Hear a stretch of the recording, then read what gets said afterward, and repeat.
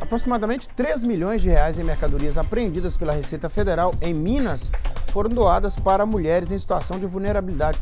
Olha que iniciativa interessante! Vestuários, peças íntimas e eletrodomésticos estão entre os produtos.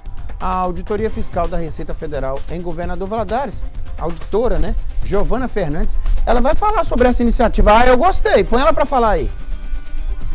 É, o total no estado de Minas Gerais são 98 entidades e aqui pela Delegacia de Governo do Valadares serão 22 entidades atendidas, perfazendo um total de aproximadamente 3.200 mulheres. O Ministério da Fazenda editou agora no dia 2 de março o programa Mulher Cidadã, então o Estado tem se voltado cada vez mais para dar protagonismo e cuidar das mulheres.